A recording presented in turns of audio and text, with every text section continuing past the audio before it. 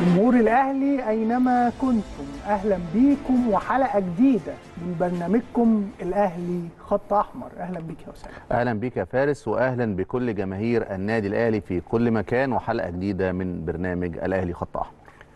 طبعا في بداية الحلقة وكالعادة هنا دايما بوصلتنا هي توجهات النادي الأهلي ومواقف النادي الأهلي اللي دايما بتنبع من إيمانه بقضايا بلاده وقضايا وطنه ودايما بتكون في اتساق مع المبادئ التي تأسس النادي الأهلي بدوافعها وبوازع منها وهي الدوافع الوطنية التي تدرك جيدا قضايا الوطن وقضايا الأمة. وعشان كده كان النادي الأهلي في منطلق الأحداث وفي الحدث وجزء من المشهد كالعادة لا ينعزل عنه ولا ينفصل عنه أبدا. نزل النادي الأهلي بيان بيقول فيه وبيعرف فيه عن تضامنه مع الأشقاء في فلسطين وقال انطلاقا من موقف بلادنا. في دعم القضية الفلسطينية يؤكد مجلس إدارة النادي الأهلي برئاسة الكابتن محمود الخطيب على التضامن الكامل مع أشقائنا الفلسطينيين في الدفاع عن حقوقهم المشروعة ووطنهم الغالي. ويدعو الله عز وجل أن يتغمد شهدائهم بواسع رحمته ويمن على المصابين بالشفاء العاجل. جاء ذلك في مستهل اجتماع المجلس ظهر اليوم. طبعا كالعادة النادي الأهلي وكمان بداية السياق. زي ما قال النادي الأهلي انطلاقا من موقف بلادنا أو بلدنا.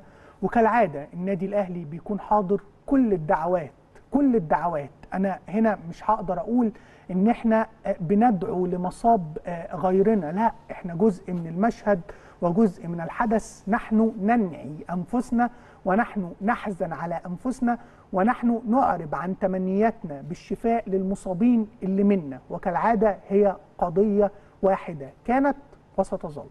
بالتأكيد يا فارس هي قضيتنا وقضية الأمة العربية وقضية أكيد مصر على وجه التحديد. يعني رحم الله شهداء يعني فلسطين ويعني ربنا يعني يقويهم ويثبتهم وينصرهم وينصر الحق دايما. وكالعادة ودايما بنقول القضية هي قضية بهوية عربية وبالتأكيد النادي الأهلي لا ينفصل عن موقف الدولة المصرية وبالتأكيد كان موقف النادي الأهلي بالتضامن مع أشقائنا في فلسطين. هو موقف طبيعي جدا ومش استثنائي بالنسبة للنادي الأهلي. كذلك هناك تأكيد على الموقف ده من خلال إن النادي الأهلي أرجى احتفالات بالتأكيد يعني منشآت في الشيخ زايد لأن النادي الأهلي شايف إن لا ينبغي أو لا يصح بالتأكيد إقامة أي احتفالات وأشقائنا في فلسطين بيتعرضوا لمثل هذا الأمر. النادي الأهلي قرر مجلس إدارة الأهلي برئاسة الكابتن محمود الخطيب تأجيل افتتاح بعض المشروعات الإنشائية والخدمية بفرع الأهلي بالشيخ زايد والذي كان مقررا له غدا الأربعاء نظرا لما يتعرض له أشقاؤنا في فلسطين وفي ذات الوقت يبدأ الأعضاء من الغد في استخدام تلك المشروعات المشار إليها والاستفادة منها. ده موقف النادي الأهلي اللي بالتأكيد هو موقف مصري أصيل تاني وتالت ورابع.